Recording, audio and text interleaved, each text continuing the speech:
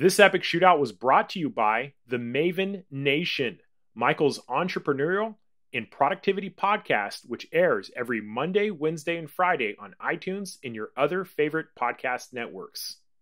Ladies and gentlemen, welcome to the 2017 flagship epic shootout. I am Michael the Maven, and before we get into the specs, let me say thank you so much to B&H Photo for providing the Canon 1DX Mark II and the Nikon D5. Without B&H's support, we wouldn't be seeing these tests. Also have to say thank you so much to Lens Pro to Go for providing the most current 70 to 200 2.8 Nikon image stabilized lens. It's an amazing lens. I can't wait to get it involved in the sports tests. And let's dive into the specs right away.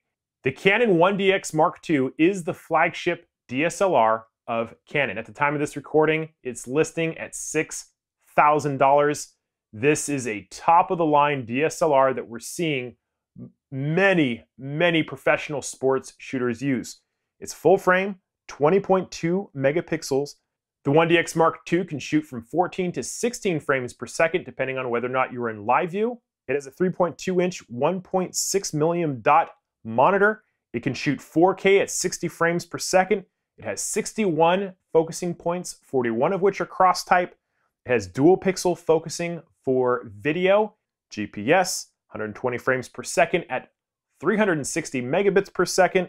The Nikon D5 at the time of this recording is listed at $6,500. It is a 20.8 megapixel full frame sensor. It has a 3.2 inch, 2.36 million dot monitor and it too can shoot 4K, though it's limited to 30 frames per second.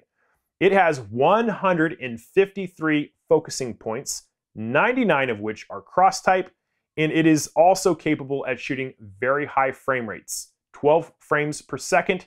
At the time of this recording, the Sony A9 is listed at $4,500. It features a 24.2 megapixel full frame image. It has a 3.7 million dot blackout free EVF. It too can shoot at 4K, again at 30 frames per second. It has 693 phase detection focusing points, which covers 93% of the viewfinder. Its back monitor is 3 inch at 1.4 million pixels. And the thing that everybody's freaking out over is that it shoots at a blistering 20 frames per second using a pass through stacked CMOS sensor. Very interesting technology. We've never seen anything like it before, and we really want to know how it performs for high speed action photography. It also shoots great video, including 120 frames per second, and it also has five axis image stabilization. I think the question we're all asking is can the new kid on the block stack up against the Canon and the Nikon Titans? In this epic shootout, we are using the most current 24 to 70 2.8 non-image stabilized lenses from each manufacturer, and we're also including the 70 to 200 2.8 image stabilized lenses, the very best from each manufacturer as well. Very excited to get the 70 to 200s involved in the sports shooting. My epic shootouts are intended to be educational and informative. If I say something about a camera that you might own that you don't like or you disagree with, I'm definitely open to constructive criticism. However, I also post all my methodology so you can see what I'm doing. I've made mistakes in the past. I'm willing to stand corrected, but the idea is to be as unbiased as possible and to let the data do the speaking. I will include my personal opinions, and you're welcome to disagree with those as well. If you like my methodology and approach to camera testing, you're probably going to like the way I teach photography. So if you're a brand new photographer to a Canon, Nikon, or a Sony camera, definitely check out the huge collection of training videos I have for each of them. I have one for the Sony A9. I don't have one for the 1DX Mark II or the Nikon D5. Just about all the other ones in the last couple years, I pretty much have them, and I'll put those links in the description. In any event, I love to start off with the focusing. We have a big focusing test down at the park, so let's go get started. We did many pre sports focusing tests with the Sony A9 to find out if it had any weaknesses. As a side note, I used the flexible spot square, medium size, at about the same position as the D5 in the 1DX Mark II's furthest outside squares to try to get an apples to apples comparison. Here's what I can tell you the A9 is fast. And it also struggles most when zooming in during a high speed burst with the 70 to 200. Not as much when zooming out. It is specific to zooming in. The A9 had some inconsistent moments, both at the park and later at the raceway. Probably less than 5% of the time, it would just drop focus completely and miss many consecutive shots. These results were not included in the scores, but it did happen once during the test, so I had to repeat that round. For side to side focusing of a moving target with no racking of the zoom ring during the burst, the A9 scored a perfect 100%, with the 1DX Mark II a 98% and the D5 a 100% as well. All great scores, but remember, the position of the focal plane is not changing much in this first test.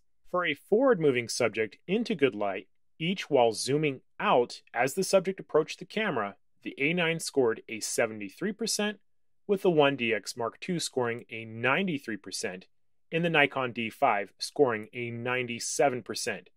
This is where the A9 first starts to struggle. Nearly all of the 1DX misses came within that 10 to 12 feet range. Beyond that, it was astonishingly good. The D5 was just about perfect at all distances. Because of the inconsistencies I saw on the A9 when racking the zoom ring, I decided to repeat this without the rack zoom. And it scored, strangely, a 74% as well. For a subject moving away into heavy backlight, the A9 scored a 57% with a rack zoom, and get this, a 97% without racking the zoom ring. This again confirmed what I initially observed. It's when we are zooming in the A9 starts to struggle a little bit. The 1DX Mark II scored an 85%, and the Nikon D5 scored a near perfect 97%. Now, because these are flagships, I also wanted to emphasize the frames per second and how important they are to capturing action. In the case of forward moving subjects, we had three rounds for each camera, with the runner covering the same distance at about the same speed. If we look at the number of keepers for each camera over those tests, the increased frames per second for both the Canon and the Sony resulted in more keeper shots despite shooting with lower focusing accuracy. This is something that the camera user will have to take into consideration. Do they want higher accuracy with lower frames per second, or do they want more keepers overall? A camera's buffer performance is how many shots it can take before it starts to slow down. This is a sports test we like to do just to see how many shots a photographer can get before the camera runs into its physical limitations of writing to the memory card. So we're shooting on raw files only. I've capped the lens, so pretty much all the pictures are going to be completely black. Autofocus is off. We've got a timer set up, and this is going to help me to calculate the write speed once the buffer fills. We can hear how fast those images are clearing. So I'm going to start the timer a split second before I start the shutter button. In one, two, three.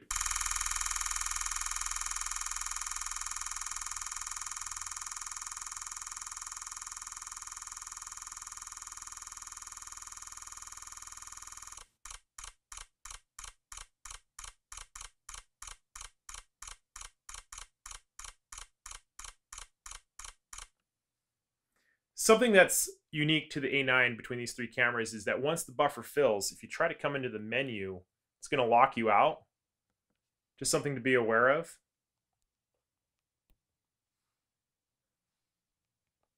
You get the red light indicator. There's also a buffer indicator that we see sometimes pop up.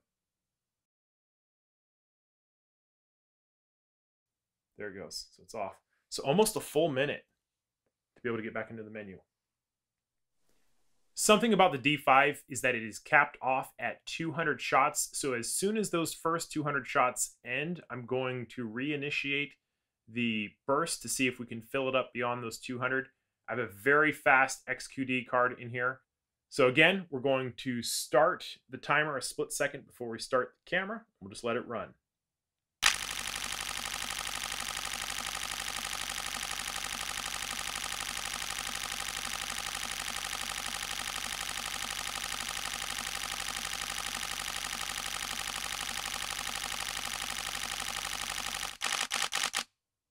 There it goes. Re-engage.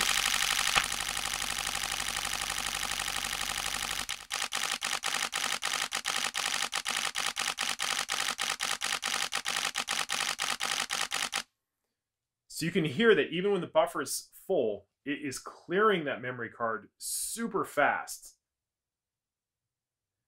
Ergonomically, let me point out a couple things about, oh, you know, if we come into the menu here, no problem. We can access the menu. And it's going to clear those memory cards super fast because of the XQD memory card. A few things I wanted to point out uh, about the D5 was the ergonomics. Look at this. To get into the memory card, you just flip your thumb in there and you push this button in, flips the door open. Very nice. Very well thought out. So the 1DX Mark II shooting at 14 frames per second super fast CFast card in it. Count of three. Here we go. One, two.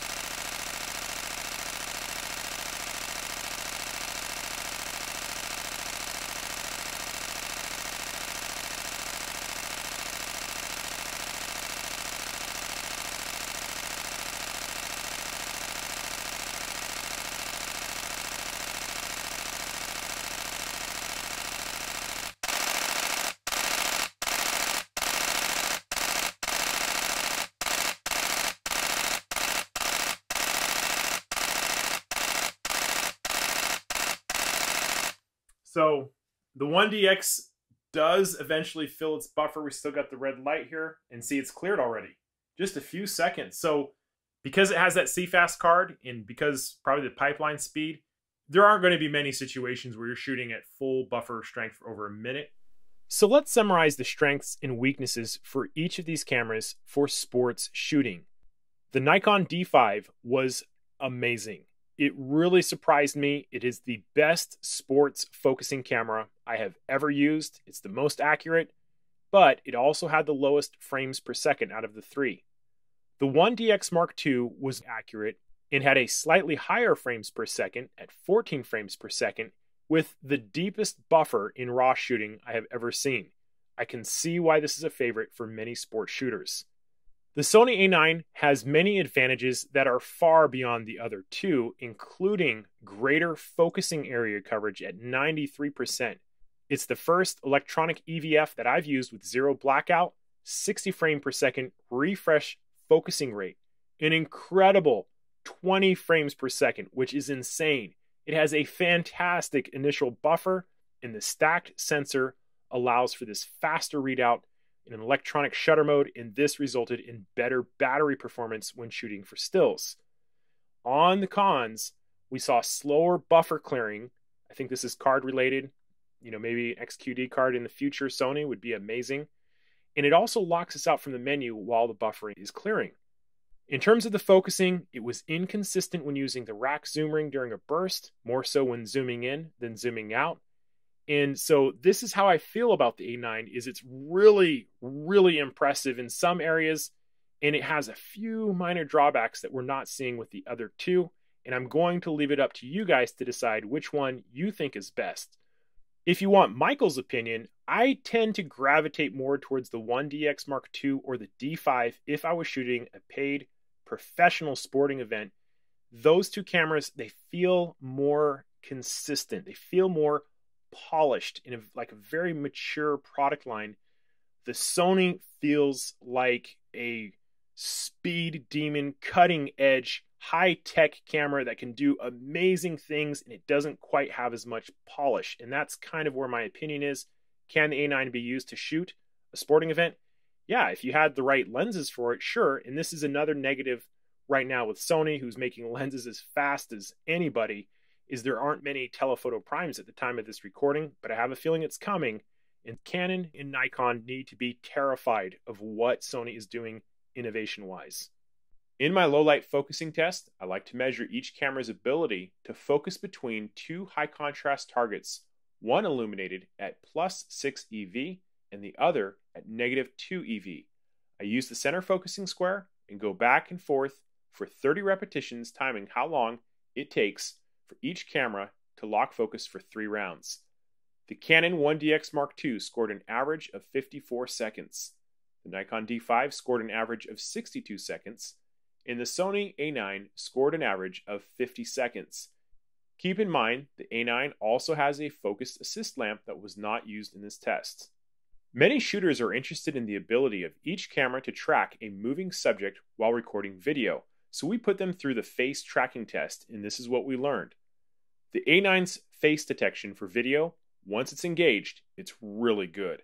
It seems to have the edge when it comes to accuracy, smoothness, and speed in focusing. The 1DX Mark II's dual pixel autofocus is also astonishingly good. It just seemed to lose track of my model's face at a shorter distance, but once it locks on, the smoothness is impressive. One advantage the Canon has over the others is its touchscreen combined with how it moves its focus. It's just faster and smoother than the A9s when tapping on the, LCD and this makes it super attractive for video work when pulling focus. The D5 can also track a face, but you will notice that it goes through a focus reset, sometimes even when the subject isn't moving much, and I consider this to be undesirable for video work. I have to note that the A9 has an eye detection feature, which we've seen in other Sony cameras, that is astonishingly fast and accurate.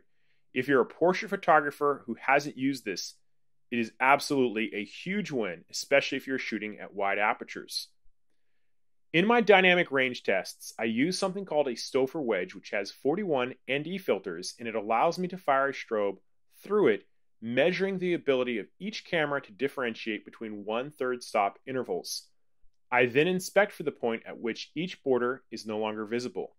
I tested the raw files at ISO 100, 1600, and 6400 and present them here so you can come to your own conclusions. At ISO 100, I see the 1DX between 37 and 38, with the D5 and A9 between 35 and 36. All very comparable when it comes to shade differentiation. However, there are some small specific things to note with each. It seems the 1DX has slightly higher color noise. The D5 has what appears to be some banding.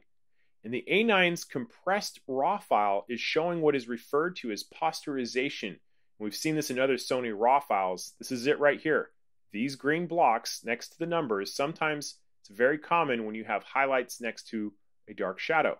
For good measure, I looked at the uncompressed RAW Sony files, which lost the posterization effect, but introduced other artifacts I am calling gifts, which are totally inexplicable. This red and blue is actually in the file, and I cannot explain where it's coming from, though it may be associated with my raw converter in Photoshop. At 1600, they're a little more comparable, with separation between 33 and 34 for the Canon, 34 and 35 for the Sony, 32, 33 for the D5. I actually like the A9 here more, and the posterization effect seems to be broken up by the grain. At ISO 6400, again, very comparable with the separation at around 29 and 30 for each. So, as a follow up to the dynamic range test, I decided to do a black cap raw test. And this is super easy for those of you who want to repeat it. You just put a black cap on your lens, ISO 400, take a, a raw file, turn your exposure, shadows, and black sliders all the way up in RAW. Now, this is something that you would never really do in RAW processing but if there's any defects in the sensor in terms of capturing an image, sometimes we can see it in the form of banding. The A9 is super clean, by far the best. Not sure what's going on in the corners here. I honestly have no idea what these guys are. The 1DX Mark II has some horizontal banding, and the D5 has both horizontal and vertical banding. The important question is how does this translate into real world editing? Take a look at this tree that I photographed with each camera, specifically the bark, and what happens when I edit each of them to pull the shadows out. The D5 is showing some strange noise and banding coming in from the ocean here. I don't know how this is working. The 1DX2 looks reasonable. And the A9 looks good in terms of banding, but I sometimes see these other artifacts like this. So I'm going to leave the decision up to you. The dynamic range of each camera is actually pretty comparable. The 1DX Mark II looks really consistent, but I don't see any banding in the A9. I would probably choose between either of those two if I had to choose a winner for dynamic range. You're welcome to look at the data and come to your own conclusions. I like to do an ISO ramp test on portraits to measure each camera's ability to produce sharp images at increasing high ISO JPEGs, measuring the camera's processing and noise reduction. The images are a standard final JPEG, but we zoom in at 300%, which is far beyond the standard sharpness of 100%. The results were very telling. The A9, whatever it's doing, it could be the new sensor, it looks really, really good. And as we increase the ISO, they all get a little bit softer, but the A9 seems to maintain something. It has a slight edge. I think they're all usable at 12,800, but the A9 still stands out, and I would have to give it the win for high ISO noise performance in a JPEG portrait. When we do video recording of candles in a dark room, each of the cameras are pretty comparable up to 6400. But watch what happens at 12,800. The Sony immediately pulls ahead with a D5 close behind it. Even at 25,600, 51,200, in the insane 102,400, the Sony is going strong. This isn't even a contest. Just wow. Huge win for the Sony in the Candle ISO performance video test, but candles are one thing. What about color noise? Again, at 6400, the 1DX and the D5, they look fine, even with YouTube compression. Very few dancing swatches. I think 12,800 would be the limit for me. It's just a little bit too much. But look at the A9. It's looking really strong at 12,800. It's usable.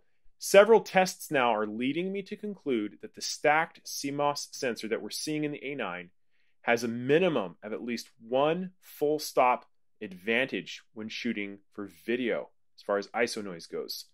If you're looking for a low light video camera, I think the A9 gets the win. I have a wonderful line shirt that does a great job in finding cameras issues with moiré. I saw moiré in all three cameras, so I'm going to show them here and let you come to your conclusions, but it seemed minimal in the A9. However, by the time this is exported and uploaded to YouTube with compression, a lot of this is broken up.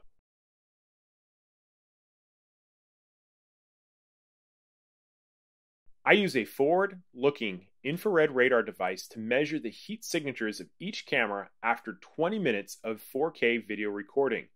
There have been some reports of the A9 overheating, so I thought I'd take a look.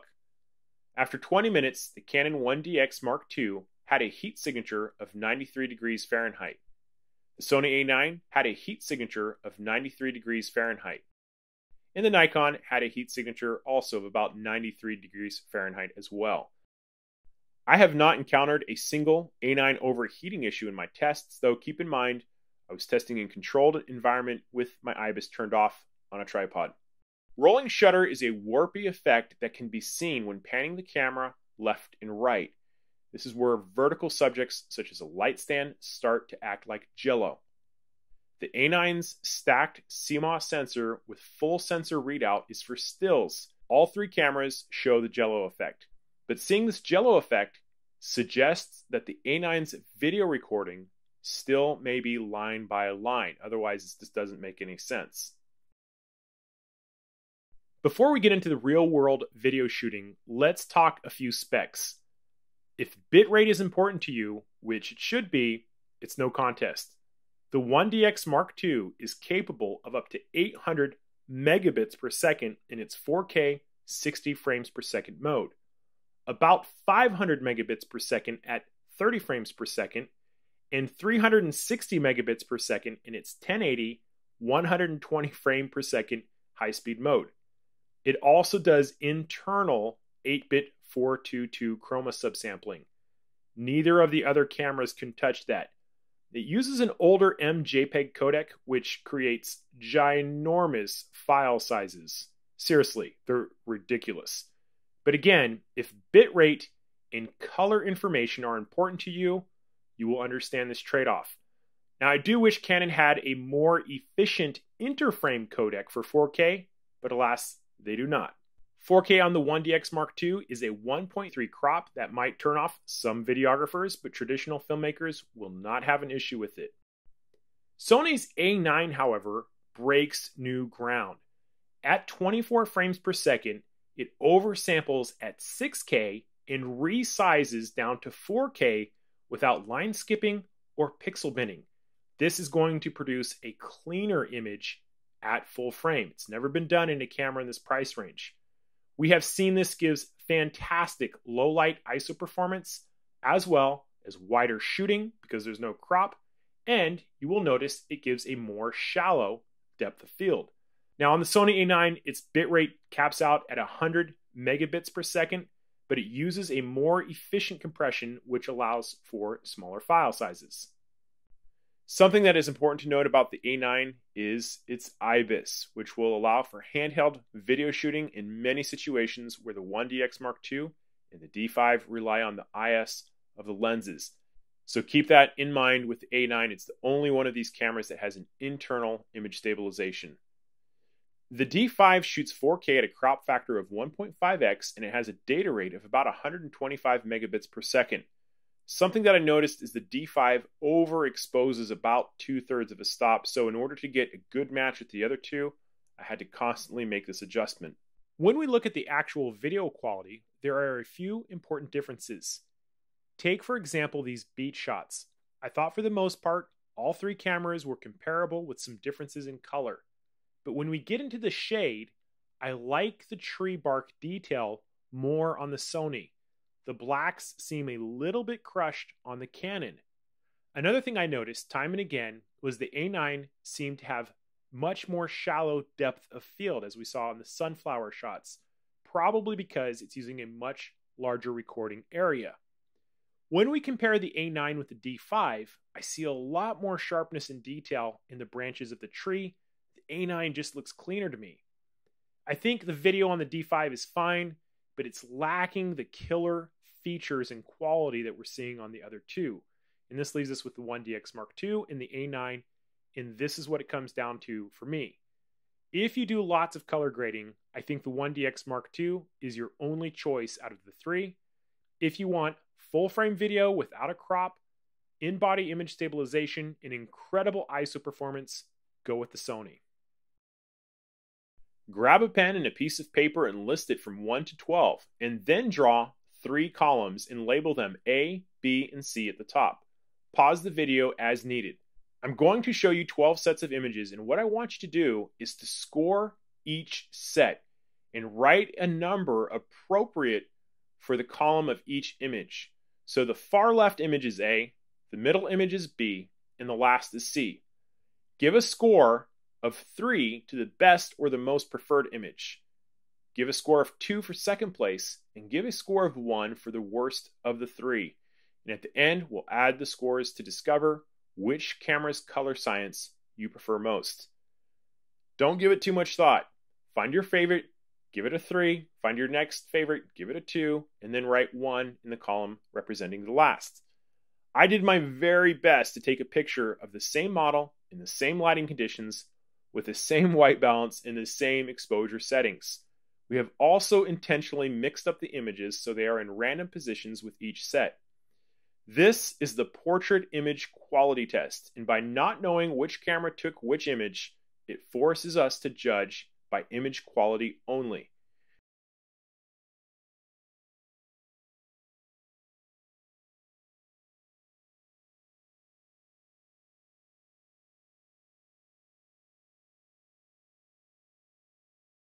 So, are you guys ready for the answers?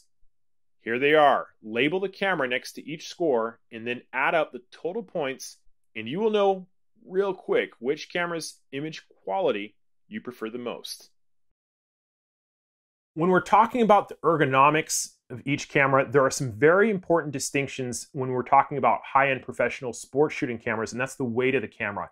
You'll notice that both the 1DX and the D5, they have a vertical grip built in to the camera. 3.3 pounds on the 1DX, uh, 3.1 pounds on the D5, significantly heavier than about 1.5 pounds on the Alpha 9.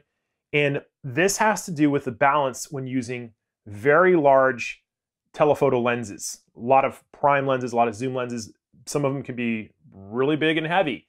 And that is something that's going to come down to personal preference. I think the professional sport shooters who have been shooting for a long time with a heavier camera, they're going to notice the difference. Ergonomically, it's not bad. Uh, got my pinky uh, missing underneath. There is a grip that you can get. It's an additional like 350 bucks, but definitely lighter, definitely smaller, depending on the lens that you're using, as always. But uh, just some of the ergonomics, I think the grips are more comfortable on the Canon and the Nikon. Just one man's opinion. I definitely wish we had more interactive touchscreen monitors when we're talking about the ease of use for all three cameras. So as you can see, my hair has grown out. It's been almost five weeks now since the beginning of the tests of this epic shootout, and I'm ready to give you my thoughts and conclusions. If you guys enjoy what you're seeing and the amount of hard work and effort that, that I put into the quality, quality is very important to me than spitting out all these quick, fast, easy videos. You're going to love the way that I teach. And I have many samples of my teaching methodology on YouTube, so you can check it out. We have almost 50 crash course videos on cameras, lighting, speed lights, Photoshop, advanced techniques. We even have a course on business. They ship worldwide and come with a 100% money back guarantee. We'll have one on the A9 coming shortly. But let me give you my thoughts about the cameras. When I first started this test, I thought we were going to be comparing three apples. And I'm convinced now that is not the case. So when we look at the 1DX Mark II and the Nikon D5, you can see that the look, the feel, the build quality, the button layout, their performance, they're very comparable. And I see these as two different flavored apples. You're getting something a little bit different with each one. Let's talk about the D5 first. Incredible focusing systems. If I was going to give this a strength over the other two, not only is it better than these two cameras, it's the best focusing camera I have ever used, I have ever tested. It wins all the epic shootouts it is that good. It just doesn't miss. And I was very impressed with it. The D5 is a very polished, very well thought out in terms of the ergonomics and the usability. It was the most enjoyable camera, in my opinion, to use. I think if you're shooting very long, like at a sporting event, you know, many hours with a heavy lens, this is going to have some real advantages. The dual XQD card slots, brilliant idea. And this is what I think these cameras deserve. Two super high fast uh, memory cards. And obviously, if you're coming from a Nikon background, this is going to be the sports shooting camera for you. Uh, a little bit more expensive, $6,500. Not a huge deal if you're in this camera price range. When we're talking about the weaknesses of the D5 compared to the other two cameras, I think we can all agree it is in the video features even Nikon has come out and said it wasn't really intended as a heavy video camera. And the video is okay. It has a 1.5x crop factor, 125 megabits per second in its data rate. It's just missing some of the other features that we're seeing in these two cameras, such as 4K 60 frames per second in the Canon.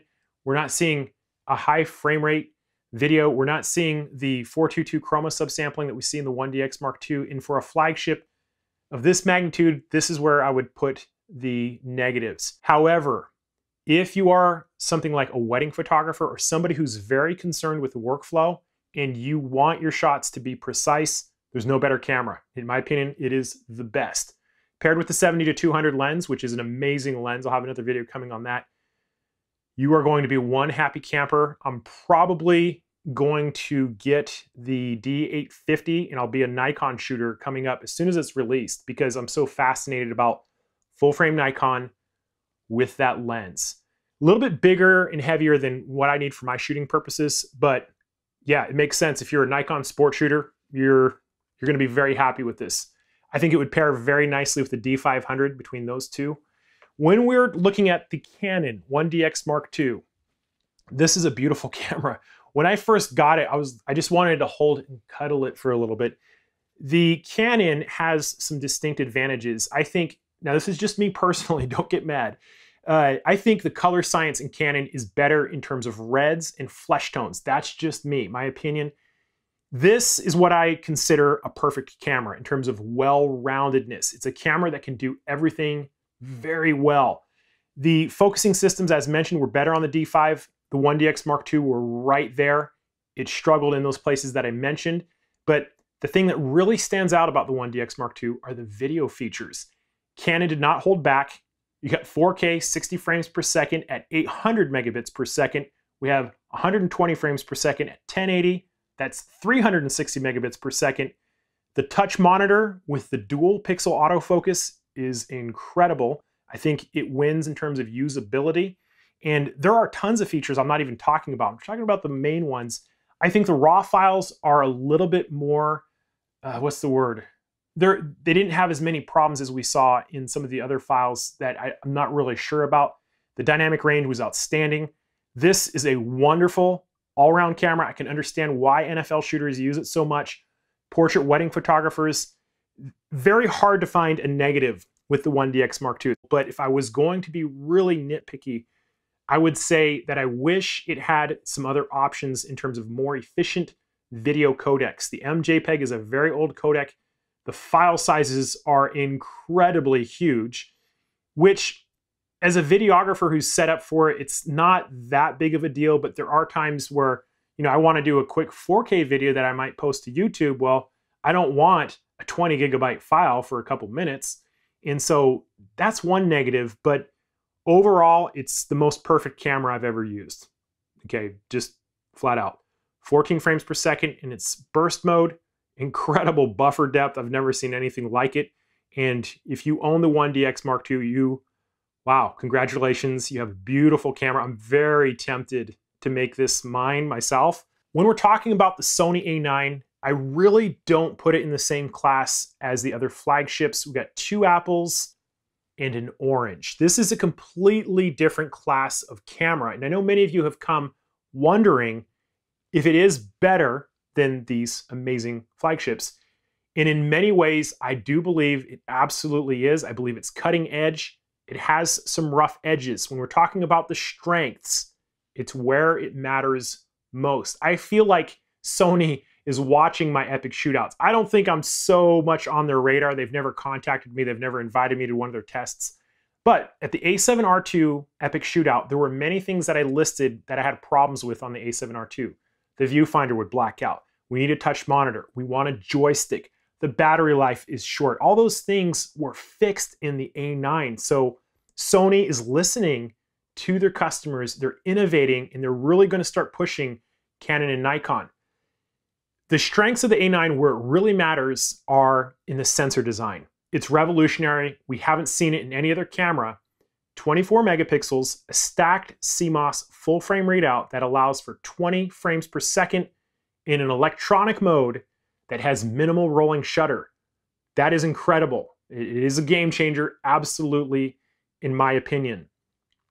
Some uh, other things about the sensor that we're not getting a lot of feedback about is the video features. This is a great video camera, even though Sony has said, no, it wasn't really meant to be a video camera. The thing that's very intriguing about it is that this is a full frame with no crop for video. Okay, so 35 millimeter, no crop, 6K oversampling down to 4K. To the best of my knowledge, that has not been done in a camera in this price range. So I believe that is very important. And when we looked at things like the ISO performance for video, the video tracking was very good, as it always is, the face detection. Yeah, this is a really amazing camera. There are some other things about it that are great, like the autofocus coverage area, far better than, than the other cameras. I think there's more clusters and more options on the Sony in terms of the focusing squares. Tilting monitor doesn't sound like a big deal, but when you're shooting with camera every day, it is the eye detection on all Sony cameras. We've seen it on the A6500, A6300, A7R2, A7S2. is we're, we're seeing this eye detection that's really, really good. So if you're a portrait photographer, you are really going to benefit from not needing to get a focus lock and recomposing. So you can shoot at very shallow depths of field and things of that nature. So let's talk about some of these rough edges that we saw that you should definitely be aware of if you're considering an A9. When we rack zoom in during a burst, I did see that it dropped focus. This was something that could repeat. And occasionally, every once in a while, it would just drop focus inexplicably. So not as consistent, not as polished as the flagships in terms of focusing, but it's shooting so many frames, it really makes up for it, in my opinion. I wasn't a huge fan of how it locked us out of the menu while the buffer was writing to the memory card.